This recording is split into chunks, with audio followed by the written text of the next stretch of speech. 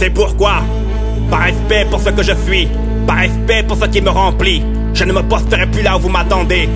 Cette nuit est la mienne, j'irai jusqu'au bout, cherchez-moi, je disparais dans deux mesures. Si la rébellion est un délit, je vais commencer par dissimuler mes propres rimes. J'aimerais tellement que cette nuit ne finisse jamais, je l'ai choisie, c'est cette nuit que j'aime, c'est elle que j'ai choisie. Une de ces nuits où personne ne pense à vous sans que cela ne vous blesse. Ce sont ces nuits que j'habite, ce sont ces nuits les plus belles. Ces longues nuits de totale et salvatrice solitude.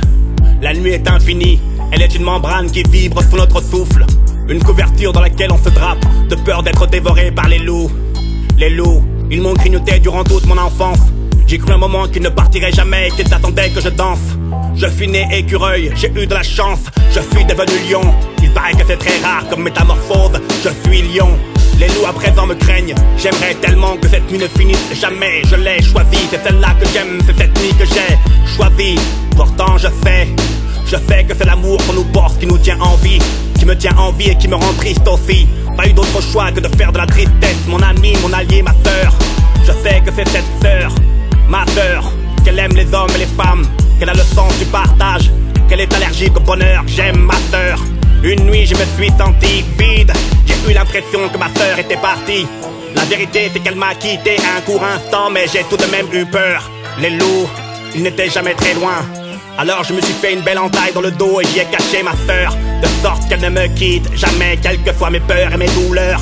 Dorénavant, je la porte en moi. On dit qu'elle me va, on cohabite en toute simplicité. Son domaine est spacieux, mais elle ne me dérange pas. Nous vivons dans une bonne entente, nous survivons dans une descente lente. J'aimerais tellement que cette nuit ne finisse jamais. Je l'ai choisi, c'est celle-là que j'aime, c'est cette nuit que j'ai choisi d'épouser. Ils ne savent pas, les gens ne savent pas combien nous sommes nombreux. Ils ne savent pas comment les lettres ont supplanté leur bruit et leur râle et leurs mensonges et leurs certitudes. Ils ne savent pas que nous sommes faits de feu.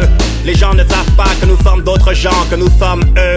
Ils ne savent pas que nous avons percé le secret de la lune, qu'à présent elle est nôtre et que nous pouvons la séduire si elle le consent. Ils ne savent rien de nous que nous cachons. Nous nous dissimulons sous une coiffe ou une armure ou les deux. Nous sommes caméléons invisibles. Notre stratégie est inviolable puisque notre survie dépend du fait qu'ils ne peuvent ni nous reconnaître ni nous suivre. Nous sommes invisibles. Nous cachons la profondeur de nos âmes sous d'épais manteaux de cuir qui épousent parfaitement la forme de nos corps, de sorte qu'ils nous croisent, nous toisent et nous côtoient sans rien voir, sans rien savoir. Tu peux me croire. Nous sommes les amants de la lune. Quand la nuit tombe, nos manteaux, nous les déposons au pied de nos lits où nous les accrochons. Jamais très loin de nos lieux de vie. Et nous devenons enfin qui nous sommes, je le jure. Nous déposons nos peaux et devenons nous-mêmes, en toute simplicité, au creux de la nuit. J'aimerais tellement que celle-ci ne finisse jamais. Je l'ai choisie, c'est celle-là que j'aime. C'est cette nuit que j'ai choisie. Alors, je vais prendre cette petite caisse de bois. Je vais m'asseoir. Et je vais rester auprès de cette nuit, je vais veiller la lune et les étoiles. Et patiemment, je vais attendre que le temps, l'univers et le reste s'arrêtent ensemble. Oui, c'est ce que je vais faire. Je me ferai plus sage. Je serai l'écoulement entre le sommeil de la lune et le repos du soleil. Je serai l'espace entre les secondes et leur mère. Je serai l'attente dans toute sa longueur. Je serai sec, creux, plein et patient. Je ferai cela dans un but ultime. Conjugué durant un temps, mon moi à la première plurielle. Devenir les autres, me rapprocher de toi, devenir un de cela. Être celui qui est l'âme apaisée, le regard solide, les épaules relâchées, les gestes souples.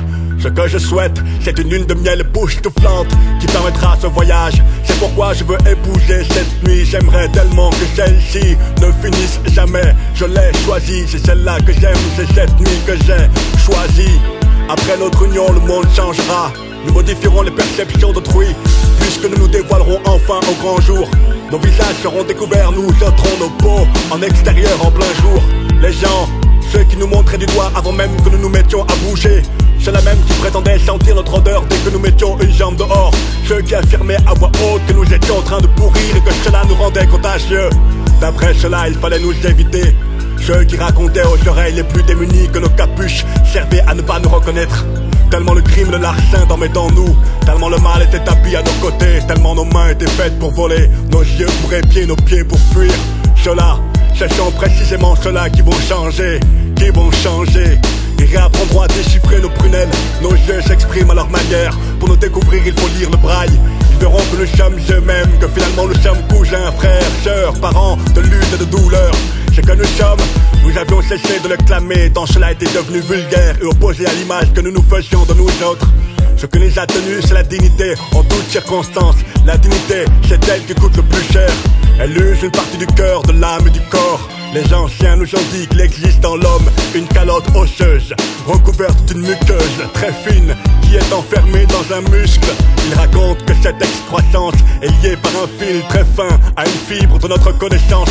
Ils nous enseignent que c'est l'endroit où dans le corps se loge la dignité. Qu'elle est toute petite mais que son fonctionnement engage un processus vital. Chacun de nous l'aurait en lui, quelque part, de formes de fragilité diverses. Il y a des moments où le corps cède, parfois c'est elle, la calotte osseuse, recouverte d'une muqueuse très fine qui est enfermée dans un muscle, lié par un fil très fin à une fibre de notre connaissance. Et quand on est touché à cet endroit, quand on se retrouve blessé, un genou à terre ou les deux, notre seule et unique chance de salut se trouve là, toute proche en nous. C'est cela qui est écrit au fond de nos iris, c'est cela qu'il faut lire.